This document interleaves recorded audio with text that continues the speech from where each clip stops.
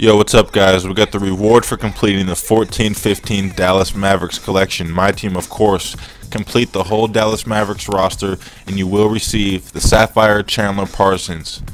Uh, great, pretty good reward. Good spot-up shooter with some finishing ability. Let's uh, take a look at his badges.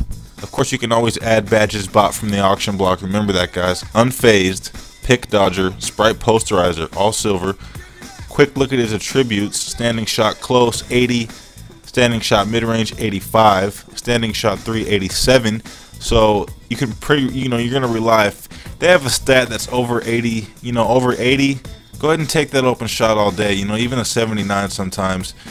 Um, but I'd say moving shot mid-range 74 you know you don't really want to shoot a lot of moving mids. Moving shot 3 82 so moving threes are alright with him. Um, good layups Driving dunk 85. You see he's got the finishing ability there. Um, post control 60, post hook 50. So not that many post moves. His post fadeaways aren't uh, not as strong points either, but offensive consistency 95.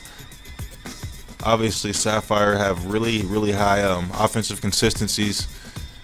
On ball defense IQ 79, pick and roll defense 80. So he has some defensive ability also. I recommend throwing um, lockdown defender on him and probably shot creator.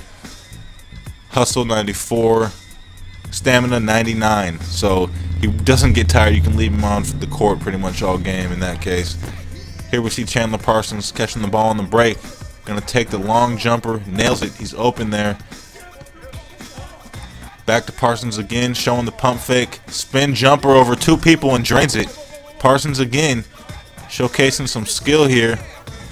Gonna get open and take that open shot. If there's no one in front of him, he's open. Oh, open again. Bang. From deep. From downtown. Chris Paul with the steal. Who's he gonna find? Chandler Parsons. Bang. No dribbling needed. He went up for the straight dunk. Chandler Parsons again. He's hot. From the corner. Chris Paul with the steal once again. And look who's down court with them. Chandler Parsons. Two-hand finish. Peace out, y'all. At Chillionaire and W. Catch you next time.